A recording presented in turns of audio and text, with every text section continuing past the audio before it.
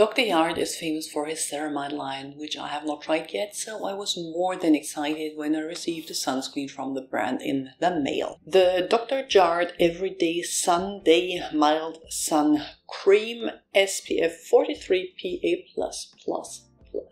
Despite it being an inorganic, aka mineral sunscreen. These usually don't work for me, but as I had a few exceptions from that rule recently, and to be honest, because at that price point I did expect something outstanding, I was willing to give it a go.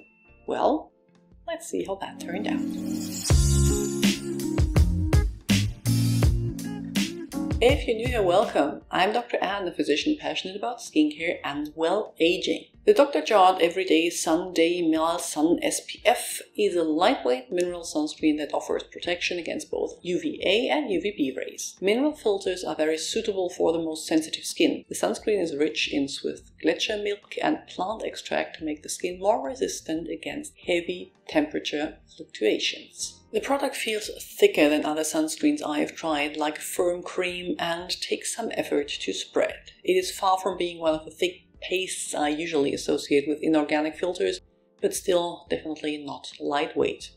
It has a fresh, citrusy scent, but very subtle. As last step in your routine, this one is applied after you did the rest of your skincare in the mornings or throughout the day for touch-ups. You need to apply enough to get the claimed protection and for my face I measured 3 pumps. These 3 pumps took a while to be worked in the skin and left a very noticeable white cast despite me being so pale.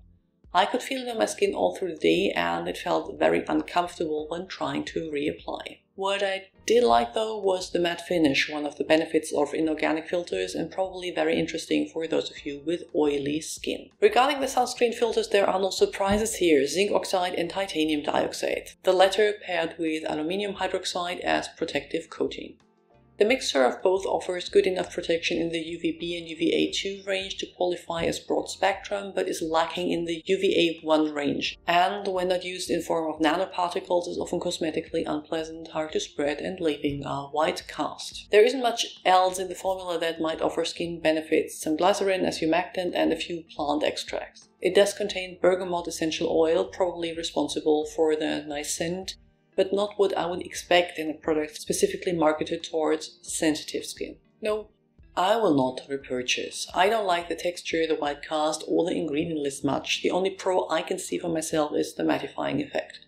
If you don't have access to the more modern filters though or are very oily, it might be a good option to try. If your skin is sensitive or acne prone and you have heard inorganic or mineral filters are best for you, this is A, a myth and not true for more modern filters and B, not true for this specific one as it contains bergamot essential oil that I wouldn't exactly recommend for sensitive skins. If there's anything you would like to add, please do so in the comments below.